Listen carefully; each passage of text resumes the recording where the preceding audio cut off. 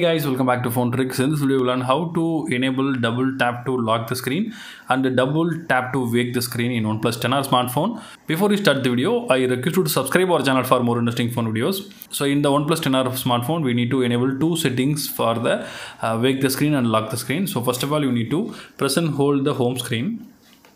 Now it will show the pop-up. You need to swipe left, then click the more option. Now you can see the option double tap to lock. So enable that. So after enabling you can come back.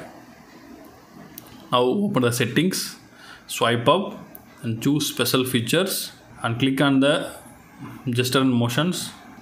Now choose screen of gestures. Now enable the double tap to wake or turn off screen. So come back. And try, try to double tap it will lock when we double tap. It will automatically light up. You can see. So that's all guys. I hope this video is very useful to you. If you like this video hit thumbs up. See you in next video. Bye bye